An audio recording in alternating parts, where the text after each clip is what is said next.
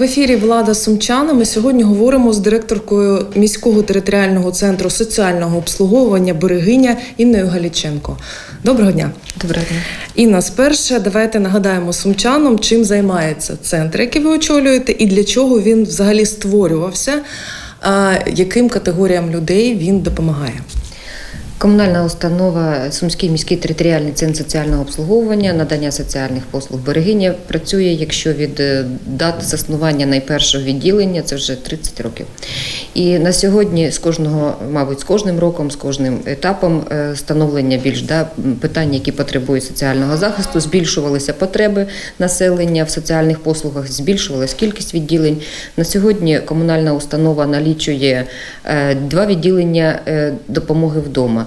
Е, три відділення е, денного догляду для молоді з інвалідністю і відділення соціальної підтримки громадян, е, саме які потребують допомоги. І майже вже місяць ми маємо. Підпорядкуванні будинок нічного перебування для людей, які не мають постійного місця проживання, тобто бездомні громадяни. Е, функції е, наші найголовніші, е, навіть важко сказати, які найголовніші. Кожен напрямок роботи по-своєму потрібен. І одним з перших, який напрямок вводився, це був догляд вдома. Саме людей, які не можуть себе обслуговувати і потребують цього. Соціальні робітники, які знаходяться в штаті територіального центру, приходять не менше ніж дві два рази на неділю, але може можна і більше, і надають послуги саме з догляду. Тобто це і прибирання, приготування, доставка ліків, доставка продуктів харчування. На сьогодні дуже актуальним було питання забезпечення е, овочами на осінньо-зимовий період. Тобто більшість людей цього віку є запасливими, тому ми е, їм забезпечуємо їх е, саме овочами на зимовий період. Також є частина така робота проводилась як забезпечення е, дровами тих одиноких громадян, які мають пічне опалення. Це також було проведено і досить добре е, складується на сьогодні. Ця ситуація е, також в умовах сьогодення це потреба була саме в оплаті платежів і в оформленні документів без присутності саме підопічних, які і так за своїм станом здоров'я більшості не виходять з будинків, тому саме оформлення документів надається нашими працівниками. Е, що хочеться сказати про відділення денного перебування, це е, послуга надається соціальна адаптація. Це молодь з інвалідністю, яка за своїм станом здоров'я не має можливості. Е, працевлаштуватися, і тому вони відвідують е, це відділ, ці відділення для того, щоб не втратити свої навички, як і соціальні, так і будь-які, які б вони могли потрібні їм для побутового свого обслуговування, для взагалі проживання е, самостійно. Для цього навіть розроблені декілька самостійних програм нашими працівниками, саме підготовка до самостійного життя. На сьогодні робота в нас проводиться як онлайн, так і офлайн. Більшість заходів по можливості проводяться на свіжому повітрі але частина е, проводиться саме такі, як трудова адаптація, саме в умовах відділення. Ну, два роки ви вже працюєте в умовах карантину. Фактично, е, що довелося перероблювати у вашому графіку, до чого пристосовуватися і привчати людей, якими ви опікуєтеся? Ви знаєте, так як у нас і університет, і молодь з інвалідністю до цього ми працювали, були вже комп'ютерні курси. Для цього у нас і міська рада, і благодійники забезпечили в достатній кількості комп'ютерною технікою. Але на сьогодні е, ви знаєте, такий був темп швидкого навчання і підключення саме до системи онлайн. Тобто, коли і як навчання працівників, так молоді, так і людей е, похилого віку. Саме це стало як такою першою необхідною вимогою. Були створені платформи, були створені сторінки в соціальних мережах, і саме через них вони ми співпрацювали з ними, тому що найбільша проблема це було е, їх ізолювання е, від взагалі від соціуму, від навколишнього. І це дійсно дуже велика проблема не тільки для них, а й взагалі для людей. Це були постійні консультації, як психологів, так і працівників. Вся робота, яка майже 100% була переведена на онлайн. Але ну досить працівники швидко справилися з цим. Ми вийшли на цей рівень. На сьогодні навіть ви вже знаєте, це якось ну такий легкий етап, що вже хочеться більш досягати нові і нові. Тобто, всі на сьогодні конкурси різноманітні. В нас з'явився інший напрямок. Це саме от якраз участь тепер міжнародних чи інших фестивалів фестивалях, е, змаганнях ми можемо прийняти саме онлайн. А взагалі, чи змінилися види допомоги е, потребуючому часи карантину? Мається на увазі, чи додалося щось нове? Е, Нове не додалося, але кожна послуга, як ви сказали, якась потребувала своїх більш зусиль. Тобто, якщо це і допом- допомога вдома, то там у нас обов'язково був щоденний е, співпраця з нашими підопічними для того, щоб вони, наприклад, заміна працівників. Якщо захворів, це тимчасово була заміна працівника одного на іншого. Це їхній стан здоров'я, тобто це вихідні, це якісь там святкові дні.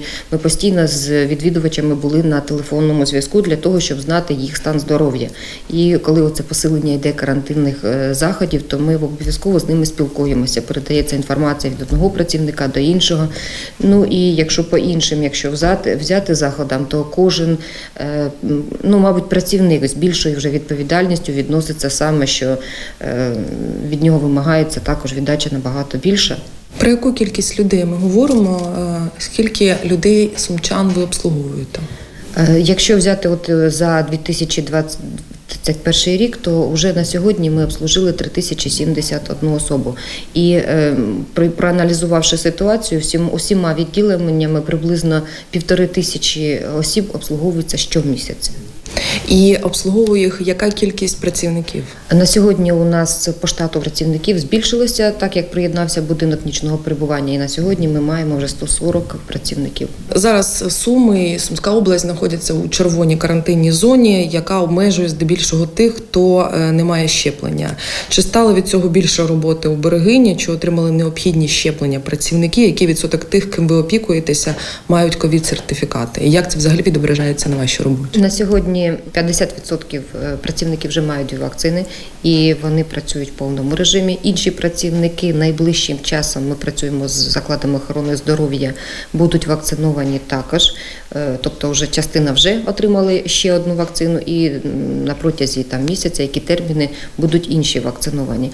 Е, Також стоїть контроль щодо підопічних, проводиться роз'яснення щодо потреби саме людей, яких ми обслуговуємо.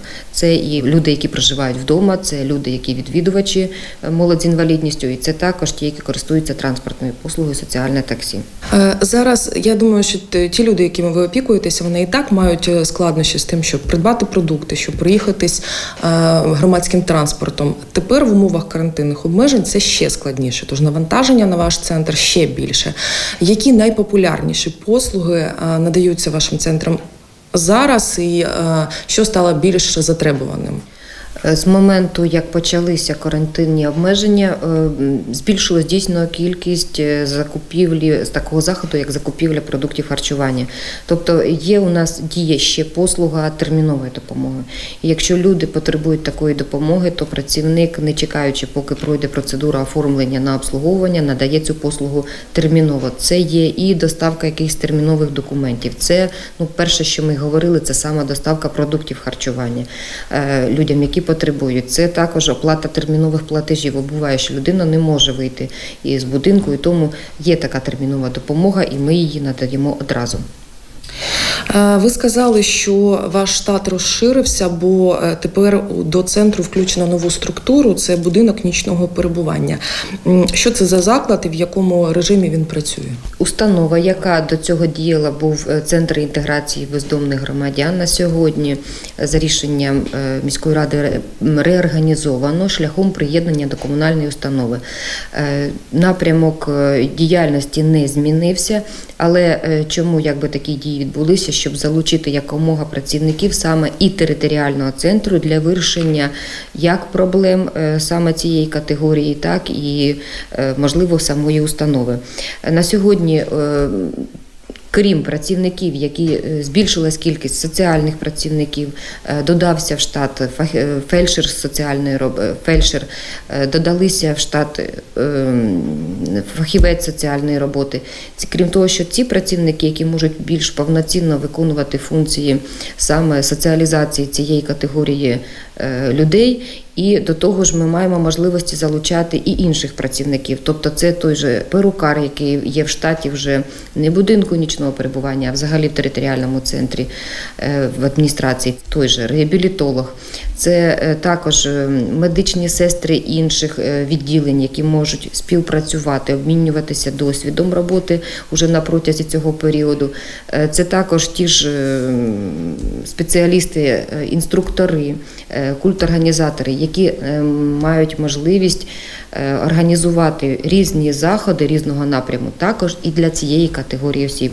Навіть на сьогодні у нас вже сьогодні е, в будинку нічного перебування зроблена виставка молоді з інвалідністю для цієї категорії, тобто показати, що люди, які мають як і фізичні вади, які там ті, які не самостійно не пересуваються, чи інші вади, вони от роблять, вони мають свою мету і вони до неї йдуть. І це хотілося б, щоб люди також до них достукатися, що в них також є, е, ми повинна, мабуть, бути така мета. Вони повинні вийти цієї своєї складної життєвої е, ситуації і все-таки рухатися в правильному напрямку. Чого найбільше зараз не вистачає, ем, скажімо так, мешканцям будинку нічного перебування? Так як у нас наближаються холоди, то це те питання, яке завжди в нас стояло, це їх е, забрати з вулиці з антисанітарії і помістити саме в ці умови, е, які створені саме для них. Це і е, теплі кімнати з ліжками, це душ, це тобто те, що вони можуть в повній мірі. Тобто то, по ті ж послуги медика, які вони можуть отримати. І на сьогодні вони не обмежені е, в будь-якій з них. Єдине, що на сьогодні як діяло до цього, так і діють е, режим. Режим правила перебування в установі, тобто те, що ми знаємо, те, що ми і продовжуємо боротися з шкідливими звичками, які ми розуміємо, що є, і е, тобто в стані алкогольного сп'яніння чи наркотичного установа будинок нічного перебування не приймає. Дається кімната обігріву, тобто вони не залишаються все рівно на вулиці. Вони мають можливості, е, щоб уникнути перехолодження, бути в такій теплій кімнаті. До того ж, е, міською радою навпаки запроваджено. От ви сказали про те, що. Чого не вистачає на сьогодні запроваджено дуже багато заходів. Е, Неодноразово сам навіть заступник міського голови відвідувала е, сам будинок. Департамент постійно стоїть питання на контролі. Це і ремонту приміщень. На сьогодні вже встановлена нова дезінфікаційна камера для дезінфекції як їхніх речей, так і речей, які вони використовують. І найближчим часом, от вона сьогодні вже будуть проводитися випробувальні роботи і запущені ці. Е, Це саме от якби кошти, які передбачені були в бюджеті. На сьогодні вже закуплені нові ліжка для саме для ночівлі у цих кімнатах. Уже проведені частково ремонти в цих кімнатах, і планується також для забезпечення і безпеки проведення також передбачені кошти в сумі 200 тисяч для проведення електрозаміни електропроводки для того, щоб було все ну, безпечно для відвідувачів, для працівників цієї установи. Тобто постійно е, працюється в цьому напрямку, передбачаються кошти на слідуючий рік саме на ремонт, на сліду на 23-й рік передбачаються вже кошти на е, ремонт е, системи опалення.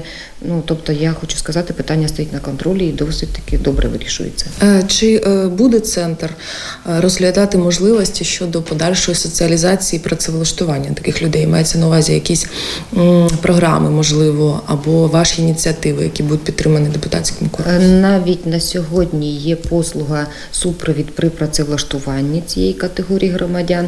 І е, я вам скажу так, що люди, які хочуть працювати, працюють. Ті, які не хочуть працювати, все рівно з ним працює психолог і виявляє, ну, по-перше, це до цього людина чомусь прийшла, чомусь така ситуація склалась, тому з ними працюють психологи. Е, Чому, що сталося, як вирішити індивідуально, групові заняття, ця ситуація. Але напрям, ну як сам такий напрямок щодо допомоги працевлаштуванні, є е, певний неколо підприємців, які готові брати цю категорію на роботу. Тобто на сьогоднішній день це робота психолога, їхнє бажання. Ті послуги, які ви назвали, вони є безоплатними для сумчан, так? Так, єдине, що є на сьогодні послуга догляду вдома, яку людина може отримувати і на платних умовах. Е, Тобто е, безплатно, безкоштовно отримують послуги ті, які не мають на сьогодні дітей, е, ті, які мають групу інвалі... першу групу інвалідності. Категорія також діти з інвалідності. Ці послуги отримують 100% згідно закону України про соціальні послуги безкоштовно. Але люди, які мають дохід і можуть сплачувати ці послуги, тобто це якщо у них дохід більше 7 тисяч гривень, це коли вони мають рідних, які повинні їм забезпечувати догляд, ці мають право, і на сьогодні в нас є такі люди, які отримують ці послуги на пла- платних умовах. Як людина може звернутися до вас з тим, щоб отримувати такі послуги? Наші сторіночки є в Фейсбуці. Наша сторіночка інформація є також і на самому сайті департаменту соціального захисту. Е, Наша інформація на, сайті міської ради. Взагалі можна зателефонувати за номером 32 77 74, Це з будь-яких питань, і отримати консультацію будь-якого напрямку. В тому числі одразу ми можемо перенаправити до спеціаліста, якщо це екстрена термінова ситуація. Це або робота з психологом, чи оці термінові доставки якихось там продуктів харчування. Тобто вона буде переадресована на того працівника, який з цим працює. Або безпосередньо е, працівник виходить е, і приймає за адресою інтернаціоналістів 18. Чи є якісь вікові або інші обмеження для тих, хто хоче отримувати такі послуги? Єдине, що обмеження є не в віці, а більше якби зазначається, чи ця людина є працездатного віку чи ні. Тобто, якщо це люди з інвалідністю, то вони можуть бути, як ми приймаємо осіб у відділення від 18 і старше. І на сьогодні опрацьовується питання е, з введенням нової категорії. Можливо, це будуть діти, і це буде вже не 18 років, а буде друга зміна. І е, до безкінечності ми приймаємо. У нас е, людей, які старше 95 років, більше м, 150 осіб. Е, Чи залучаєте ви до своєї роботи волонтерів? І дайте пораду сумчанам, які, можливо, хочуть допомогти вам чимось. Е, Ми ніколи не відмовляємося від співпраці з громадськими волонтерськими організаціями, підприємствами міста, які нас дійсно протягом і як в умовах карантину підтримують, і взагалі і до цього підтримували. Тому я дуже хочу подякувати. Також цю роботу провела і Сумська міська рада. Саме було е, зустріч з підприємцями, і люди відгукнулися. Ми постійно проводимо якісь акції, і люди також, е, навіть просто мешканці, не, навіть не волонтерські організації, а мешканці, які приймають участь і приносять там чи це продукти харчування, чи остання була акція, це миючі засоби. І е, Хочу сказати ще е, дуже велике значення, і це є досвід навіть інших світових держав, допомагають волонтерські організації саме бездомним громадянам. Тобто саме продукти харчування, якийсь одяг, також це є також як практика, е, допомагають е, волонтерські організації. Ем, Ну, ми приймаємо допомогу, допомогу, і ми не проти. Ми також приймаємо участь в всіх проєктах, які ми можемо самі підготувати, самі написати. Тому залучення інших коштів, в тому числі і грантових, і благодійних. Цього року е, до вашої структури додався будинок нічного перебування. Е, Які плани у територіального центру Берегиня на наступний рік? Чи буде ще розширення, чи можливо реорганізація, чи, чи можливо буде мінятися штат? Є якісь плани, бажання? Установа ніколи не стояла на місці, як я вам говорила про те, що тільки почалася робота онлайн, працівники швидко пере- перейшли на нову форму роботи. І кожного разу ці ж самі нові проекти, нові напрямки, нові заходи. Ми постійно і постійно щось проводимо.